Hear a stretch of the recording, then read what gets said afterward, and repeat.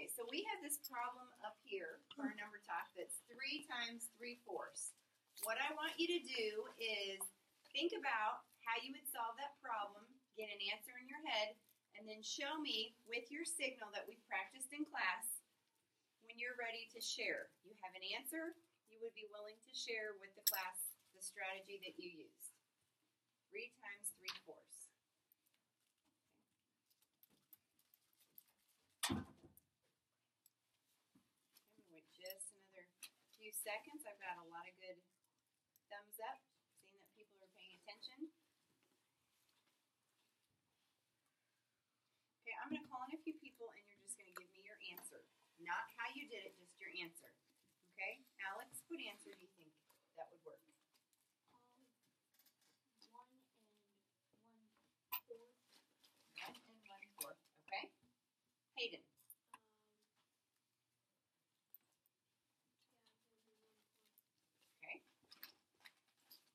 Collins. Uh, two and one fourth. A couple more people. Braden. Two and one fourth. Landon. Two and one fourth. Okay, so we have some similar things here. We might have several that have two and one fourth, or several people agree that it's one and one fourth. Um, I would like somebody that would be comfortable sharing a strategy. Bryceland, what's a way that we could solve this problem? put the three over one, so it can be a fraction by a fraction a fraction. And Okay, then, so three over one times three fourths. then you multiply across, so three times three is nine, and four times one is four.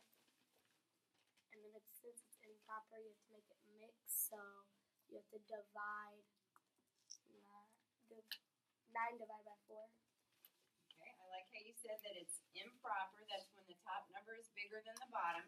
So we want to divide this. And four goes into nine twice. And then four times two is eight. So eight minus nine is one.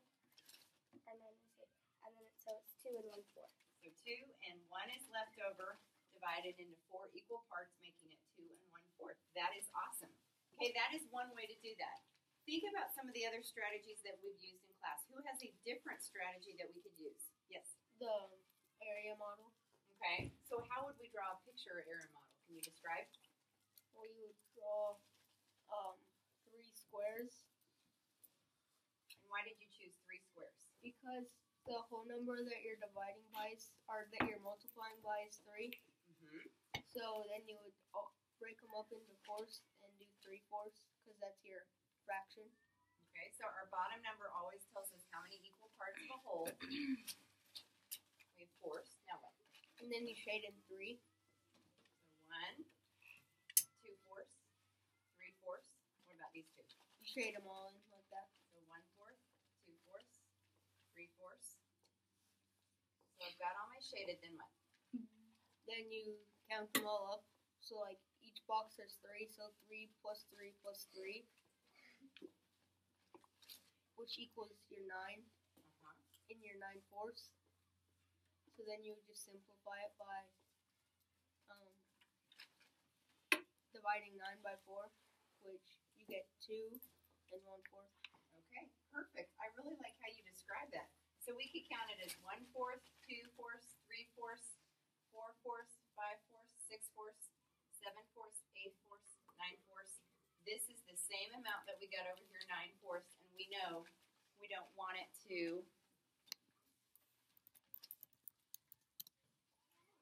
We know that we don't want to leave it as nine fourths. We want to make it into a mixed number. Anybody else have a different strategy? I like how we have a picture model. Anytime you can draw a picture or have a model, that's really, really good. That's what you want to do. Okay, good job today.